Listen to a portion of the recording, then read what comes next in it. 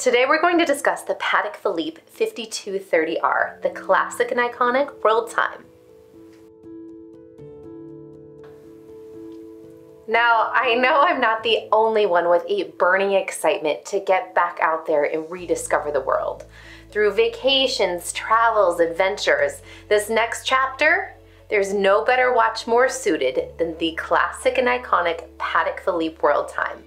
Our version we're going to discuss today was introduced in 2016 and recently retired. Now, in the world of rare, exceptional, and collectible, when a watch becomes retired, it becomes instantly more sought after, which is the case with this model here, making it an amazing collector opportunity.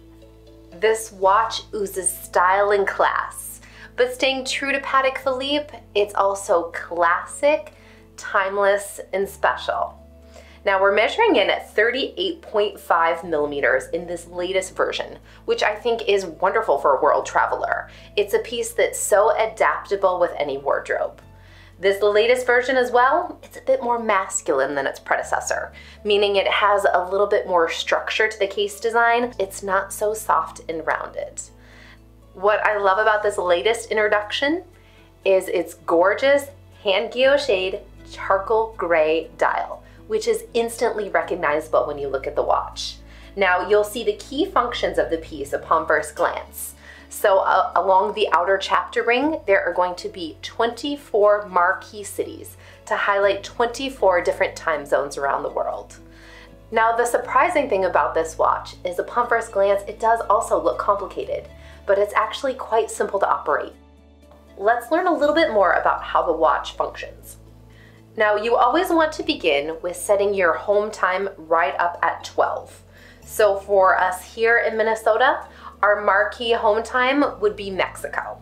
Next, you go through and you set your time through the crown, and you'll also be able to notate whether it's AM or PM, which is indicated by the dark versus the light on that interior ring. Now with a simple click of the pusher, you can advance to anywhere in the world. So Let's say you get a wild hair and want to take a impulsive weekend trip to Paris. You can easily sync through the pusher and know at a glance what time it would be in Paris, where your vacation and your adventure are ready and waiting. So as we delve a little bit further into it, you'll see some gorgeous nuances on the hands as well.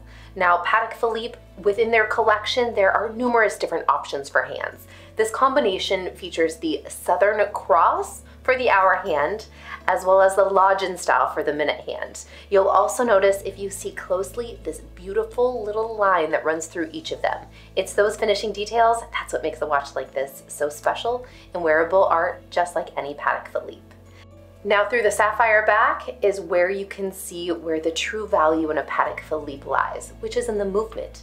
These watches, they take anywhere from one to five years to make each one. Uh, what we'll notice here upon first glance is that gorgeous 22 karat gold micro rotor. So this watch features the caliber 240, which is their classic ultra thin automatic movement.